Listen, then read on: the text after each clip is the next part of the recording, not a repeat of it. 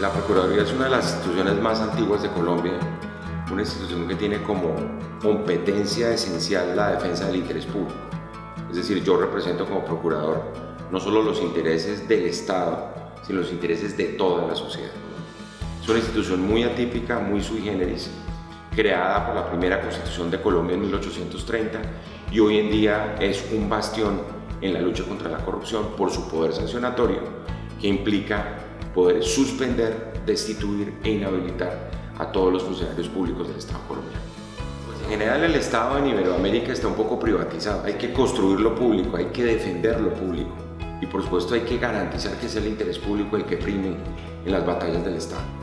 Que la corrupción es precisamente lo contrario, la corrupción es utilizar el bien público en interés particulares. La crisis de Iberoamérica, como de muchas democracias hoy en el mundo, es una crisis de confianza en las instituciones. La palabra clave del futuro es confianza. Y la desconfianza ciudadana es la regla general. Y se recupera por la vía de un Estado que funcione. Aquí la clave es ser muy efectivos en términos de resultados, sobre todo en la lucha contra lo que hemos denominado nosotros la mega corrupción, que son los grandes escándalos que la ciudadanía siente y la ciudadanía exige resultados.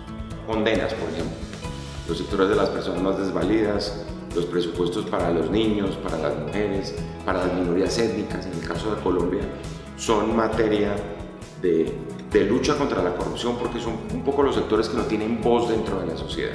Nosotros hemos asumido la defensa de esos sectores y por supuesto ahí la cooperación internacional ha sido fundamental. Yo he dicho, la corrupción nace, crece, se reproduce y no muere. Por el contrario, se reproduce con más fuerza. Y pasa como con la maleza, si uno simplemente la poda, sale con más fuerza.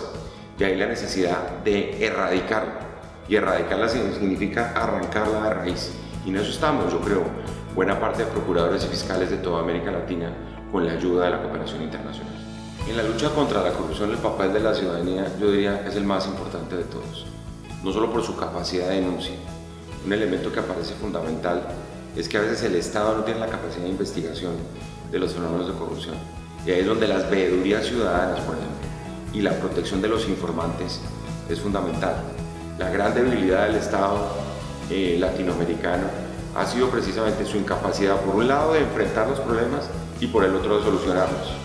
Y yo creo que la FIAP en ese sentido nos ha aportado grandes escenarios de diálogo y de fortalecimiento institucional que son claves para entender cuál es la senda del desarrollo de América Latina y en el caso particular nuestro de Colombia.